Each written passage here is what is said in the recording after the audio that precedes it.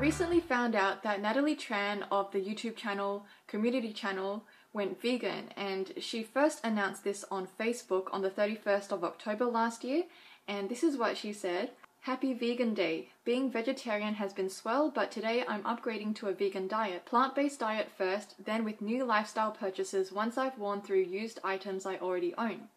And to prove I'm still hip, I used an Instagram filter on a picture that made me look thin. So that's pretty cool that she announced to over 300,000 followers on Facebook that she's vegan. She said, I know that there will be jokes about how vegans have to tell people, but if I have to look at 200 pictures of people showing me what they had for breakfast, I figure it's okay. So there was a lot of discussion there, and someone even mentioned there are vegan lamingtons, and maybe she could make a vegan lamington recipe video.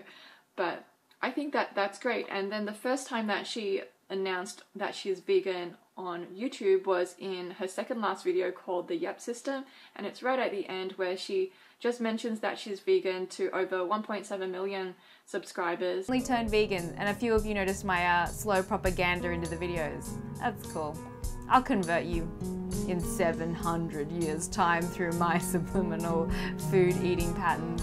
That's how it works, right? Yeah. Worst advocate ever. It's at 389,000 views at the moment, and I think a lot of people would watch to the end of her videos because they're really funny. So, even though she's not actively promoting veganism on her channel, I think it's still great that she mentions that she's vegan and it just raises more awareness of the lifestyle. So, good on Natalie, and let me know what you think.